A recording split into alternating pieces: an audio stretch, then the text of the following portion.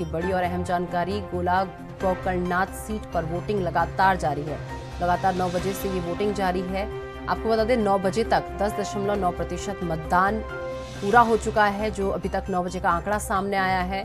तो बड़ी और अहम जानकारी आपको बता दें, लखीमपुर से जहाँ पर विधानसभा गोला गोकर्णनाथ उपचुनाव जो है लगातार जारी है। आपको बता दें, यहाँ पर सीधी टक्कर बीजेपी और सपा के बीच में देखने को मिल रही है। तो कड़ी टक्कर यहाँ पर है और बात अगर बसपा और कांग्रेस की की जाए तो दूर दूर तक वो इस उपचुनाव से दूर नज़र आ रहे हैं। तो बड़ी और अहम जानकारी लखीमपुर खीरी से, जहाँ पर 9 बजे तक 10.9 प्रतिशत मतदान हो चुका है। ये बड़ी और अहम जानकारी लखीमपुर खीरी से सामने आ रही है। इस खबर पर अधिक जानकारी के लिए हमारे साथ हमारे संवाददाता अनुज कुमार हमारे साथ जुड़ चुके हैं। अनुज, लगातार उपचुनाव के लिए जो मतदान प्रक्रिया है, लगातार सुबह से जो है जारी है, इसी बीच अभी तक कितना प्रतिशत मतदान हो चुका है? एक बार से लेकर जानकारी।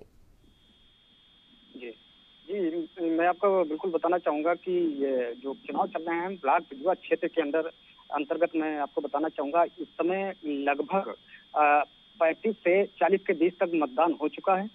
और यहाँ पे दिलचस्प बात देखने को ये मिल रही है कि युवाओं में भी काफ़ी उत्साह दिखाई पड़ रहा है और मतदाता बूथ पर जा रहे हैं अपना मतदान कर रहे हैं। अनुज वही बात कर ली जाए बीजेपी और सपा की तो कड़ा मुकाबला इन दोनों के बीच में देखने को मिल रहा है। तो कितना दिलचस्प ये मुकाबला रह सकता है इस बार का सपा और कांग्रेस के माफ़ कीजिएगा सपा और बीजेपी के बीच में क्योंकि कांग्रेस और बसपा जो है दूर दूर तक नज़र नहीं आ रही है।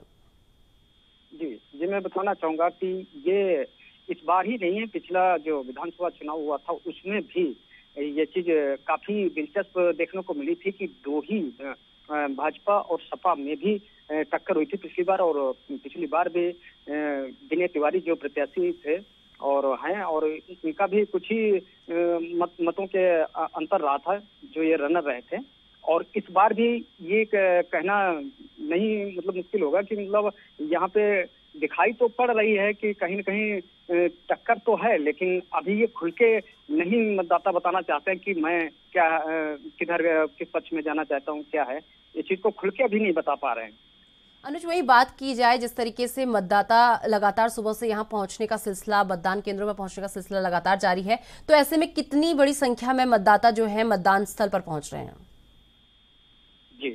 अभी देखने को ये मिल रहा है कि सुबह से जो, जिस तरीके से अभी जो प्रतिशत मतदाताओं का रहा है तो इस हिसाब से अगर देखा जाए तो ये पिछली बार करीब साठ से सत्तर के बीच में मतदान हुआ था और इस बार अभी पैंतीस से चालीस के बीच तक अभी प्रतिशत पहुँच चुका है। लेकिन अगर भीड़ को देखा जाए तो मतदाताओं की ज़्यादा संख्या में भीड़ नहीं दिखाई पड़ रही है। रुक रुक कर जा रहे हैं मतदाता और अपना मतदान कर चलिए अनुज बहुत बहुत धन्यवाद हमारे साथ जुड़ने के लिए और ये तमाम जानकारी हमारे साथ साझा करने के लिए।